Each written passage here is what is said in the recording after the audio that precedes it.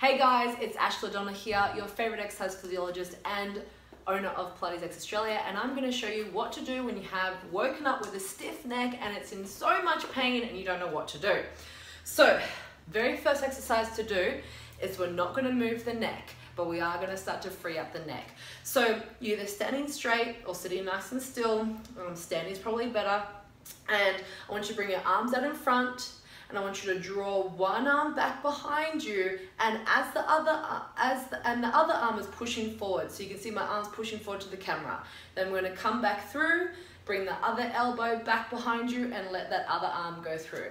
So if you see from side on you'll be able to see my shoulder my shoulders I should say are moving forward and back. So what I'm doing here is I'm creating some space um, Eh, with our thoracic spine.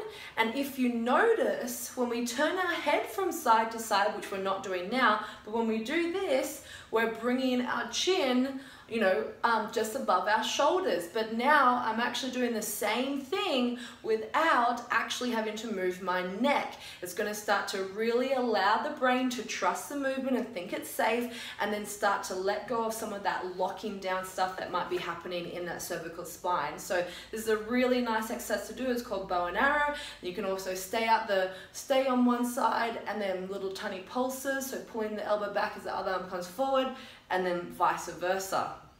Then, once you've done that, lifting the shoulders also helps relax the traps. So we can squeeze the traps up and then relax and let them drop. Then we can start to look from side to side, just gently, nothing forced. Once you do that a few times, we're gonna take our ear to the shoulder. Once you do that a few times, then we're gonna do some static holding. So I want you to look over one shoulder, tuck the chin down, hand behind the head, pressing that chin further down. And with the other shoulder, press it all the way down towards the floor, holding that stretch there. Then you'll come to do the other side, pressing the shoulder down. So you want to hold these about 20 seconds. It really depends on how the neck is feeling. Might be only able to hold it up to 20 seconds, maybe able to do 45 seconds, and that's okay as well. Next one is we're going to take one hand behind our opposite glute. So I've got this hand behind the opposite glute, pull that down and then take the ear to the shoulder. So you created a huge space here and then you'll do that to the other side as well. Then another awesome one is um, um, taking the ear to the shoulder, tongue press up to the roof of the mouth, and then with that chin, press that chin up to the sky.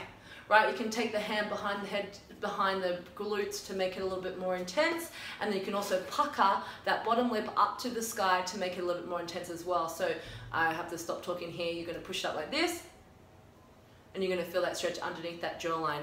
And then you go to the other side, take the ear to the shoulder, hand behind if you want, lifting the chin up, pucker that bottom lip.